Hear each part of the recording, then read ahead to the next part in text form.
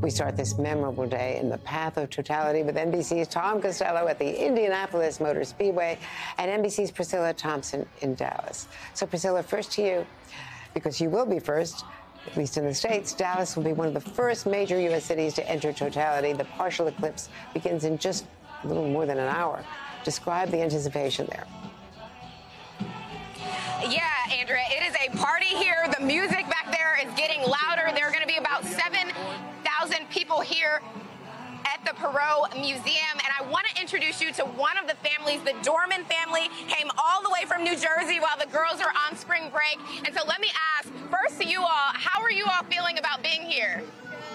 Good? Excited, excited, definitely. Yeah. What are you most looking forward to? What do you think is going to be the best part?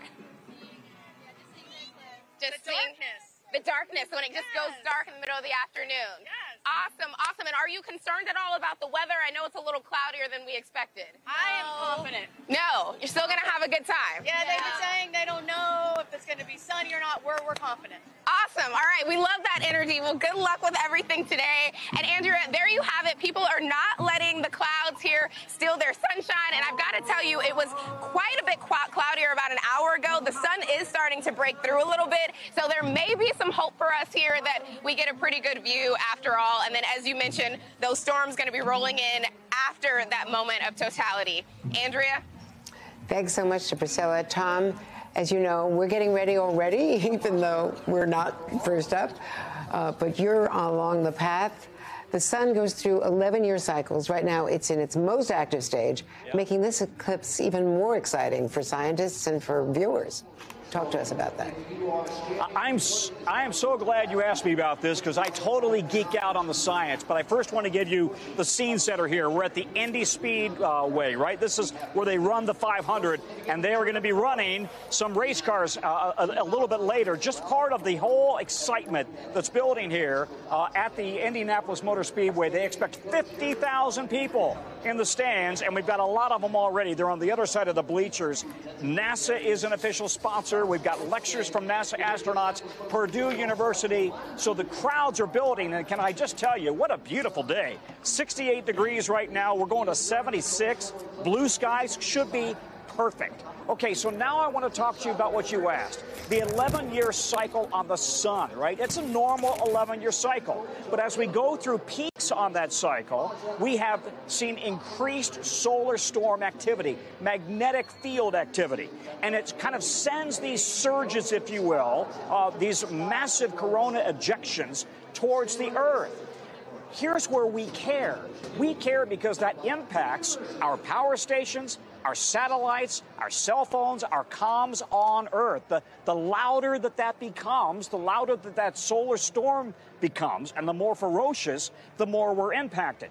So that's why NASA astronauts and NASA scientists are so excited about today.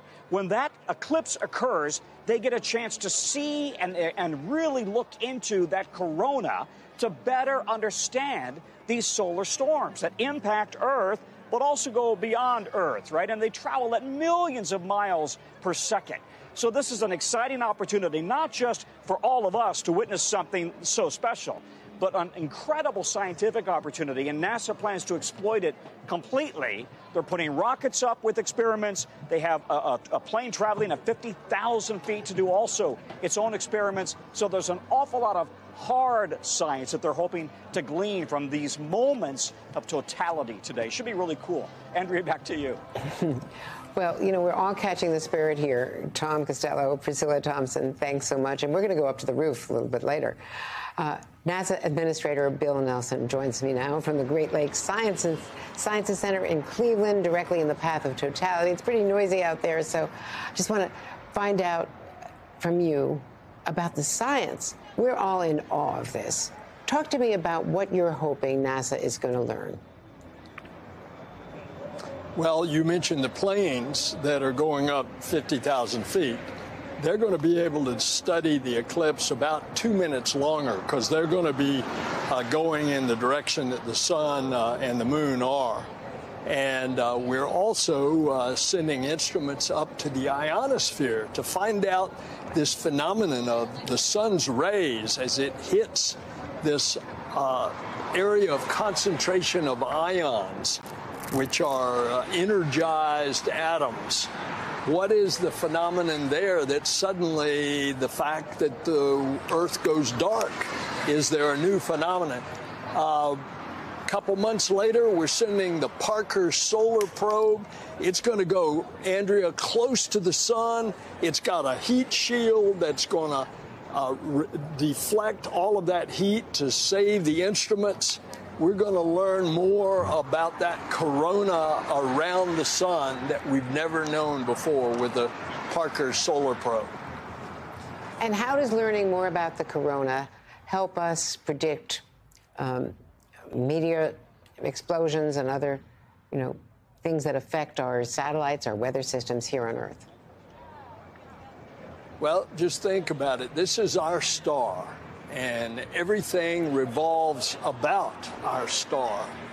And our daily life uh, revolves about that star, and that star shoots off uh, nuclear explosions, and all that radiation goes through space.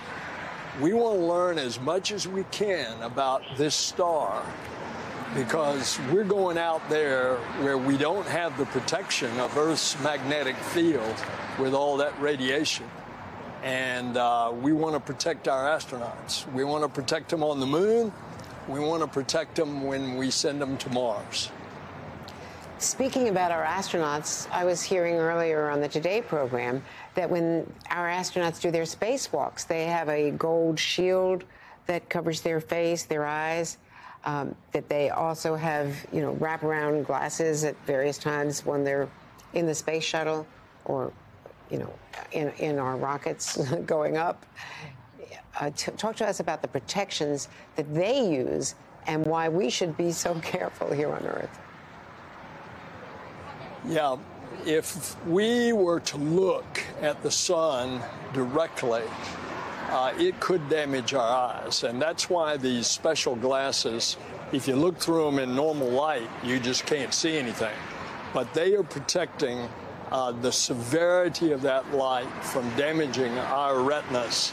And so, again, it's a warning to everybody listening to this. Uh, please, if you're going to look up, even if it's a partial eclipse, uh, please wear those glasses. Uh, we don't want you to be damaged. Well, I got mine right here, so I'm ready when we go up on the roof later this afternoon here to see the partial eclipse. But talk to us also about what what average Americans, what citizens can do to participate in your research.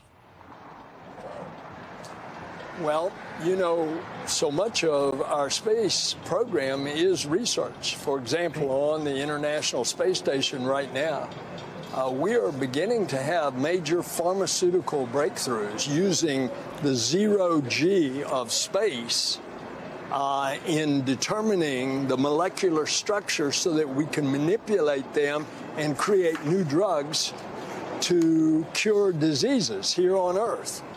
Uh, you go to the moon, uh, think about it. When we went a half century ago, how did that affect Earth?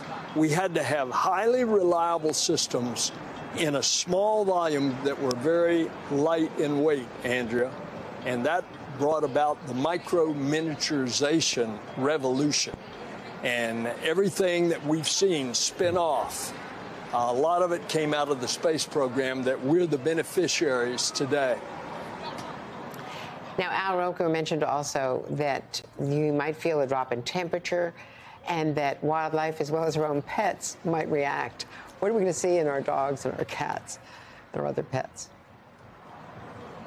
Well, we've seen in the past, you just think about it, all of a sudden, pure daylight suddenly turns to night. And that causes animals to be confused.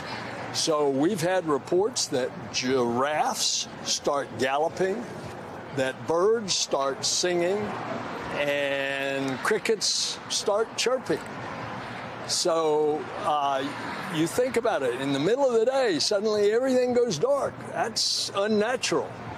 And uh, you'll observe that. Look at the animals when this occurs. Bill Nelson, you're amazing.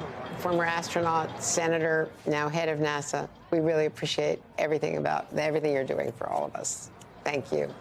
Enjoy the eclipse. Thanks, Andrew. Hey everyone, MSNBC has a new and improved app. You'll get real time alerts and analysis, live blogs, in depth essays, video highlights, and the best 2024 election coverage. Download the new MSNBC app. Here's how to do it you tap on the App Store on your phone. You hit search on the bottom right corner. You type in MSNBC. You click on the MSNBC app. You click on Get or the cloud icon and enjoy it.